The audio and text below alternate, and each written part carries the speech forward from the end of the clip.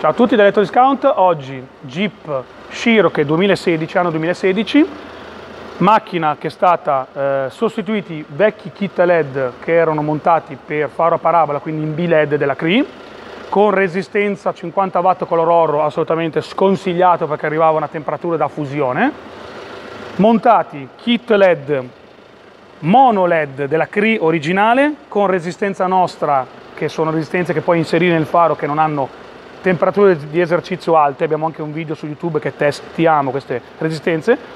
Particolarità di questa Jeep Cherokee, come vedete DRL in alto e lampadina anabbagliante in basso, cosa molto particolare perché hanno utilizzato praticamente, eh, al posto di avere il DRL sotto, hanno usato il DRL in alto e anabbagliante in basso.